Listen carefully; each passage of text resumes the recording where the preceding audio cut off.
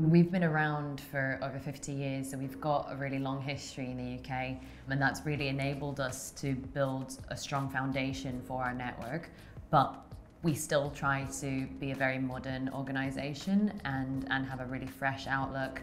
We are a small chamber of commerce, so it's very very personal the relationships that we we have. We never want to be a faceless organization. We want to really facilitate that networking and find out what kinds of people they're looking to meet through us so that we can actually do those introductions in person as well. The chamber has really uh, a wide deep network and access to the Finnish business and British business community here in the UK. And we are Finland UK specialists. We really are the short way, sort of the gateway to the UK market. We saw that you guys are doing a whole lot of things, not just with the Finnish community, but really extending uh, the business outwards as well and, and, reaching out to the community at large over here. Uh, we've got a lot of potential here in the UK, so uh, we, we just aim to benefit from your contacts and, and uh, give you leads as well. What was the main reason that you joined, joined the Chamber and what do you hope to get out of it going forward as well? Just brand awareness, collaboration, making Firstbeat brand more visible in the UK and yeah, work on finding business opportunities here. The Finnish community here in the UK is small but close knit. Uh, and it's great to be part of that community because there's a lot of interaction, a lot of networking, a lot of connections you wouldn't make otherwise across a lot of different industries. It's always good to, to build on our Finnishness. Um, you know, Nokia is obviously at its heart a Finnish company historically, but it is now a very, very large global organization. Um, but it's important that we remember our roots and being part of the FBCC helps that. So I think it's really good for us to talk to people who are not from our own industry. Um, and so it's really good to get the views as lots of financial companies, shipping companies, etc. Um, and so it's, it's good to keep that perspective on what's going on in other industries. I mean, for, the, for a bank like Nordea, of course, being a huge organisation, I think it's essential for us to participate in, in, in something like this. It really continues to be the networking, us providing some uh, support to the Chamber um, through uh, bringing people in from the Nordics.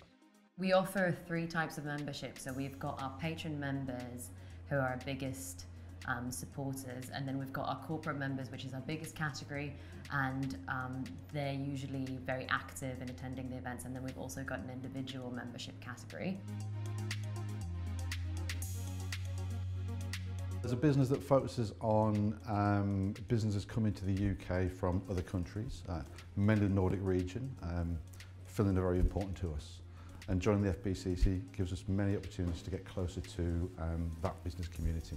You guys were corporate members originally and then you decided to join as a patron. What made you decide to do that? The opportunity to understand um, what you do more, to get closer to the Finnish community in London, in the UK more widely, and also back in Finland, because I think we can learn a lot from that as a business ourselves. What are you hoping to get from your membership going forward, and um, what have you gotten from it so far?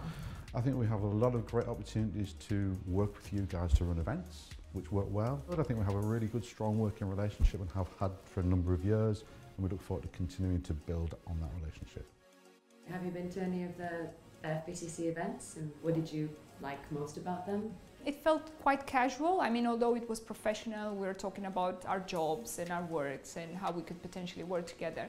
But I think it was it was very relaxed. Wasn't only like, you know, I'm doing this, this is who I am. It was a lot about life and about, I mean, my, you know, my area of expertise wellness, but I think that's why it's just the, the level of report, I've, I found it yeah, really high.